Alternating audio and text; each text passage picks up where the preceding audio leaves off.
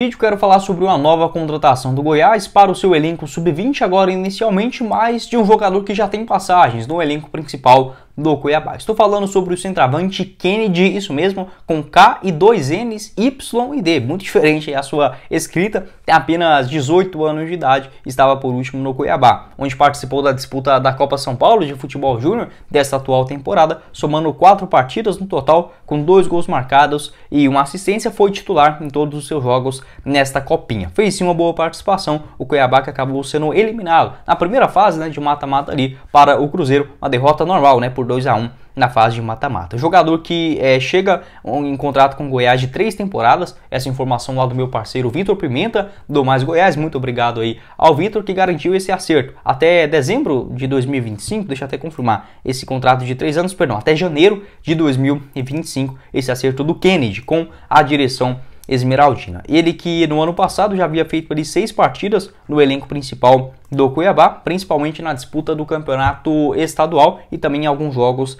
da Copa Verde. No total, ele jogou também o Campeonato Brasileiro de Aspirantes, com oito partidas, é, não conseguiu marcar nenhum gol. No Campeonato Mato Grossense Sub-20 foram cinco bolas na rede em oito atuações. Na Copa Verde, duas partidas com um gol marcado, o seu primeiro como profissional, em um jogo ali no finalzinho do ano contra o Costa Rica do Mato Grosso do Sul. Participou também no jogo contra o Brasiliense, nessa disputa do campeonato é, da, da, da competição regional. E no campeonato estadual foram quatro partidas no elenco principal do Dourado, né, na temporada passada, então já tendo essa pequena experiência dentro do elenco de cima. Conversei com o Eduardo Pinheiro também, que me garantiu um pouco mais sobre os detalhes é, desse jogador. Ele que começou a sua trajetória em várias passagens ali dentro do futebol brasileiro, inicialmente no Brasilis, essa equipe, é, ele que nasceu em, em Cuiabá mesmo, no Mato Grosso, passou ali no Brasilis do interior de São Paulo, Flamengo, Corinthians e no Bahia, até chegar aí no sub-17 e sub-19 do Cuiabá. Inclusive, ao confirmar com o Eduardo Pinheiro, ele me garantiu que o Kennedy ele foi um dos sobreviventes lá da, daquela tragédia, né?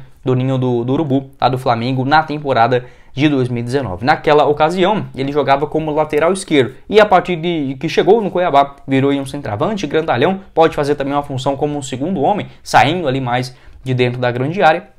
É, a sua primeira temporada no Cuiabá foi em 2021. Ele havia jogado também no, no Brasilis, no Bahia, sub-17, com 10 atuações entre 2020 e 2021, até chegar no Dourado na reta final daquele ano e fazendo a temporada de 2022 por lá. Iniciou esse ano na disputa da Copinha e eu consegui confirmar também, chega em parceria com o Goiás e o próprio Cuiabá na divisão dos seus direitos econômicos. Pode deixar sua avaliação aqui embaixo nos comentários. O Goiás que já entrou em campo nesta primeira rodada do Campeonato Brasileiro. Como eu estou gravando esse vídeo antes do jogo, não consigo passar aqui o resultado para vocês. Tomara que seja com vitória. Na, na categoria sub-20, vários dos jogadores da disputa da Copinha, o próprio Guto Ferreira disse isso, né? É muito melhor os jogadores uh, jogarem a sua competição, o sub-20, e estando é, sendo utilizados, tendo essa experiência em uma competição importante, do que apenas ficar, por exemplo, no banco de reservas no elenco principal. Pode deixar sua opinião aqui embaixo nos comentários sobre o Kennedy, novo centroavante aí do Verdão, chega inicialmente para brigar posição, né? Alguns bons jogadores também nesta camisa 9, o próprio Pedrinho que jogou assim